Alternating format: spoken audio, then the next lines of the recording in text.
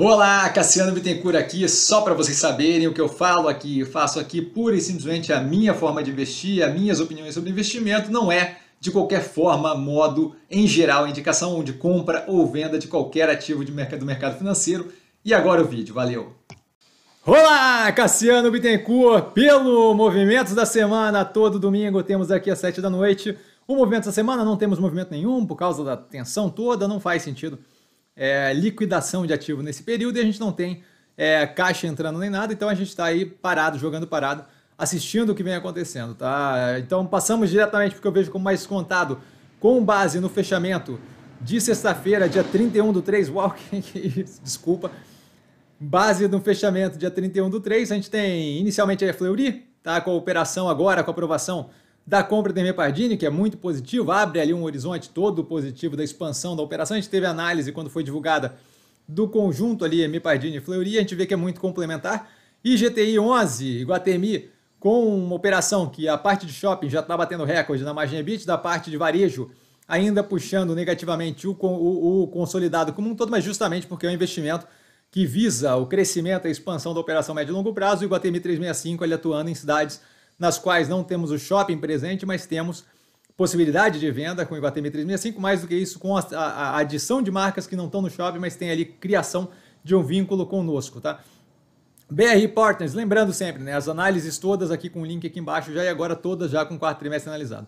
Tá? BR Partners com uma operação menos positiva nesse momento, dado o risco é, percebido mais forte agora, não vejo como problemático, isso daí muito mais afetando, como, disse, como dito na análise, a questão de mercado de capitais e Investment Banking, parte da operação, não vejo como problemático. Cogna, com o projeto de é, retomada pós-pandemia muito alinhado, indo na direção ao qual eles se propuseram, estabilidade de, de alavancagem, geração de fluxo de caixa é, versus menos investimentos é, mantido, é, a operação da, da Croton continuando naquele crescimento, então bem positivo. Tá? Guararapes com a operação, o preço extremamente descontado ativo, enquanto a operação já está a níveis, é, em alguns pontos casado com pré-pandemia, outros superiores à parte ali de, da, da financeira, um pouquinho menos contribuindo para o resultado positivo, mas ainda assim num direcionamento sustentável, médio e longo prazo bem interessante. Cirela com resultados consistentes, resiliente, mesmo no momento de maior pressão, assim como a Melnick, tá? que a gente vai ver daqui a pouco é, que foi analisada ontem, no, no sábado. Então, ainda assim, uma continuidade de um resultado positivo entregue a operação sendo mais conservadora nesse momento, aproveitando para justamente segurar as pontas nesse, nesse período aí de juros mais alto, menor apetite por tomada de risco. Tá? Multilaser, com um momento mais complexo de avaliação, ainda assim o preço extremamente descontado, até por isso não temos ali a retirada do capital da operação, tá? simplesmente a manutenção. Então, para aumento de posição, não acho que é o momento essa operação, mas é, para quem não tem a operação no portfólio, por exemplo, dá uma bicada, não vejo com problema, e a gente mantém justamente a nossa posição ali dentro, dado que o... vemos ali a possibilidade bem considerável de sobrevivência do ativo médio e longo prazo, com justamente a... tirando o proveito de toda aquela construção de um portfólio de produtos mais amplo, tá? e a diversificação disso, operação bem focada agora em geração de caixa e redução é, de estoque, manutenção da operação focada na sobrevivência. Tá? Lojas Rene com operação financeira ali dentro, um delta mais, mais apanhando, mas a operação de varejo de moda bem positiva, já casado e alguns, grande parte dos, dos indicadores já acima do pré-pandemia. Então, assim, não faz sentido a gente ter uma operação precificada abaixo do momento mais grave da pandemia, nesse momento agora onde temos aí lojas abertas, operação rodando, com números acima do final de 2019. Tá? A Zemp vem entregando consistentemente resultados bem positivos, melhorando a cada momento. Esse último agora foi bem, bem positivo, com contínua redução de custo da mercadoria vendida como proporção da receita líquida, o que mostra ali a continuidade da melhoria da operação. A expansão pro, do Popais indo muito bem, não vejo qualquer racional da precificação que a gente tem atual. A OPA 4 numa situação delta menos é, pressionada, mas parecida com a da Multilaser, de ter tido um trimestre comercialmente, operacionalmente não positivo, de modo a justamente ter todo um retorno ali para ser feito, ainda assim a precificação não bate com o que temos ali. É, quando eu projeto a operação para frente, eu vejo a, a, expansão com a Rothes, a melhoria do quadro operacional financeiro que ela consegue fazer, dado que ela sabe lida com aquilo, um trimestre ou outro que tenha afetado negativamente a operação, não faz da operação algo que valha aquele preço ali que beira a falência. Tá? Neoenergia, operação rodando muito bem, com crescimento agressivo, muito positivo desde a abertura de capital e o preço abaixo dos preços do IPO. Não, não tem muito mais explicação para ser exigido aqui. As análises, é aqui embaixo o link, né? E aí na, no, na descrição da análise lá tem todos os vídeos já feitos desde o IPO. Banco Pan atuando mais fortemente ali nas faixas CDI de renda, agora com a recuada do governo na questão da travada, da travada de teto ali do INSS deixa de ser um problema, que lá obviamente insustentável quando foi tomada aquela decisão, e a gente vê justamente a bravata versus a capacidade de implementar é, do governo atual, afetando negativamente pontualmente a operação, o preço da operação naquele momento. Agora não faz qualquer sentido mais, já voltamos, tivemos a volta ali para 1,97% o teto do consignado com o INSS. Tá? Mais do que isso, a operação consegue entregar consistentemente resultados sólidos e resilientes, o que mostra aí, justamente mesmo nesse período mais tenso a manutenção de taxa de inadimplência mais baixa e por aí vai, segue.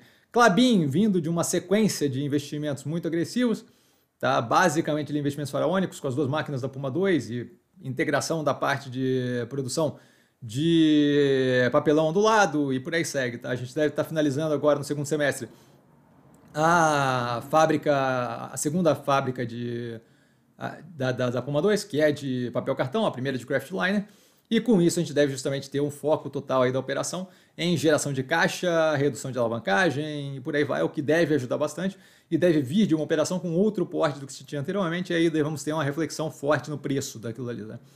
Modal Mais, a operação deve se transformar na XP, a gente teve é, recentemente agora a votação de aprovação ali da combinação dos negócios com a XP, é, não, não saberia dizer ainda, não ficou muito claro se aquilo ali já implica na substituição das ações ou não, a gente deve ter comunicados aí para frente do, do, do, qual é a implicação específica, tá? mas a gente não teria nenhum problema de mudança aqui para XP ou não, isso foi dito inclusive nas análises da XP que já estão no canal.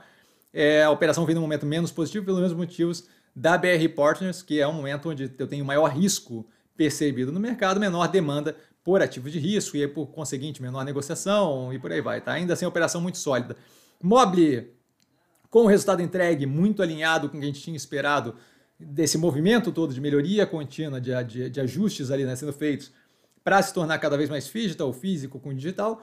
Tivemos aí um trimestre de geração de caixa, o anterior a gente teve a, a, a, o final do cash burn, da queima de caixa, agora tivemos geração de caixa com continuidade da melhoria dos custos, por exemplo, de logística versus é, receita líquida da operação e tivemos melhoria nas margens de contribuição em todas elas, sem exceção, tá? como comentado na análise.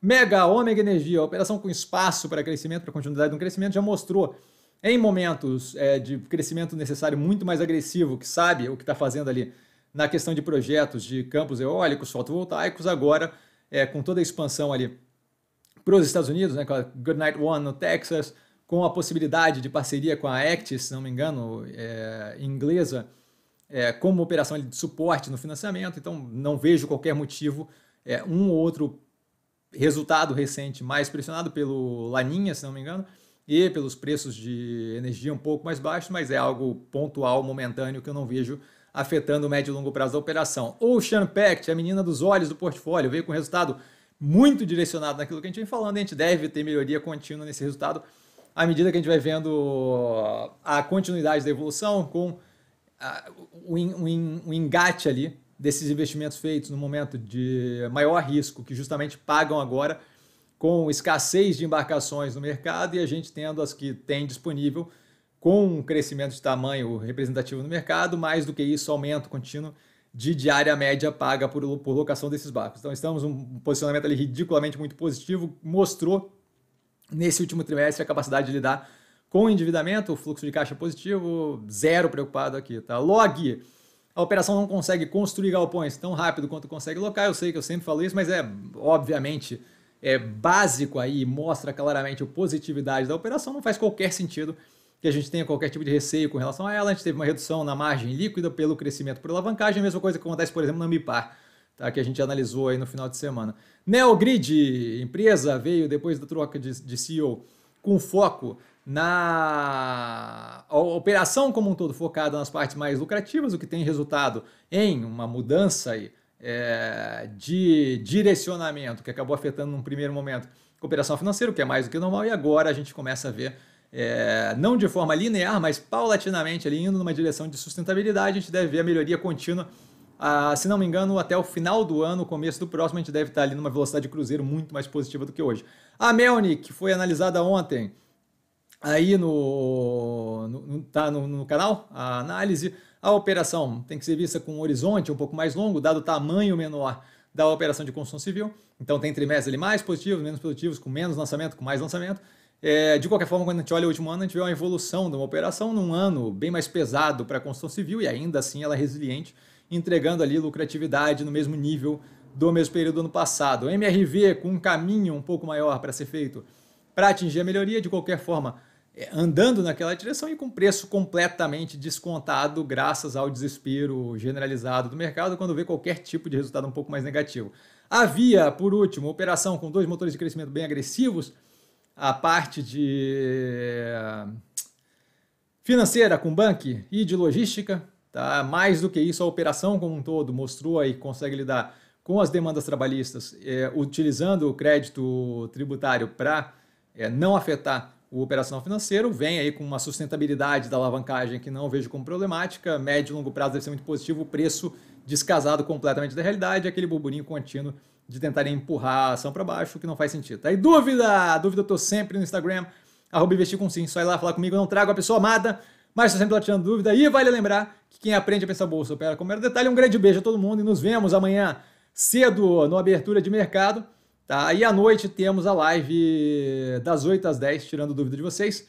É, basicamente entrar lá e perguntar e questionar no chat, que eu vou respondendo uma a uma por duas horas direto, das 8 às 10 da noite. Valeu, galera, beijão!